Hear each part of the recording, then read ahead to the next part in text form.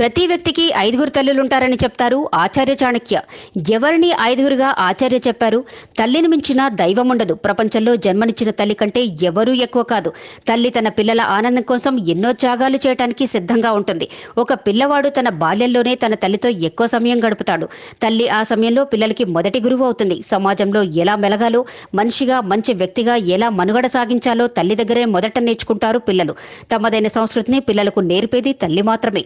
రాజని రాజనీతి శాస్త్రాన్ని ఔపాసన పట్టి తన దక్షతతో చంద్రగుప్తుడి అసమాన చక్రవర్తిగా చేసిన పండితుడు ఆచార్య చాణక్య. ఆయన అప్పుడు ఇప్పుడు అని తేడా లేకుండా ఈ భూమండలం ఉన్నంత వరకు ప్రజలు పాటించాల్సిన నియమాలు నిర్వర్తించాల్సిన విధులు రాజధర్మం పౌరధర్మం అన్నిటినీ వివరంగా చెప్పారు. చాణక్య నీతి మానవులకు ప్రతి విషయంలోనూ దిక్సూచి అనటంలో సందేహం లేదు.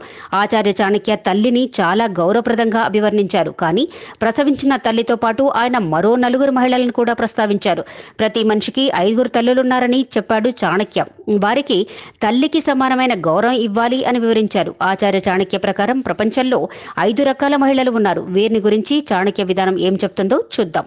విషయాలను పాటించే బాధ్యత ఆ రాష్ట్రానికి చెందిన రాజు లేదా పాలకుడిదే. అటువంటి పరిస్థితిలో రాజు తన ప్రజలకు తండ్రిలా ఉంటారు. ఆయన భార్య తల్లి లాంటిదవుతుంది ప్రతి వ్యక్తి రాజు భార్యకు లేదా పాలకుడి తల్లికి సమానమైన గౌరవం ఇవ్వాలి. గురువు ప్రతి శిష్యుడికి సరియైన మార్గాన్ని చూపిస్తాడు. ఇది మంచి విలువలను ఇస్తుంది. అందువలన ఈయన తండ్రితో పోల్చారు. చాణక్యుడు ప్రతి వ్యక్తి గురువు భార్యను తన తల్లిగా గౌరవించాలని ఆయన చెప్తారు. స్నేహితుడి భార్యను బావా అని పిలుస్తారు. అక్కకు తల్లి హోదా ఇవ్వబడింది. అందువల్ల స్నేహితుడి భార్య కూడా ప్రతి వ్యక్తికి తల్లిగా పరిగణించాలి. ఇది ఆ వ్యక్తి గౌరవాన్ని పెంచుతుందని ఆచార్య ఉవాచ.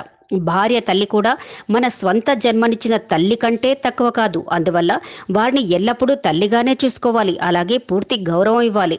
చాణక్య చివరగా పేర్కొన్నది కన్నతల్లిని ఆమె మిమ్మల్ని మీ లక్ష్యానికి తీసుకెళ్ళే మార్గాన్ని చూపించేది. మీకు అన్ని రకాలుగాను ఈ భూమి మీద నివసించే అవకాశం కల్పించింది. అటువంటి తల్లిని నిరంతరం గౌరవంగా పూజనీయ స్థానంలో చూడాలి అని చెప్పారు.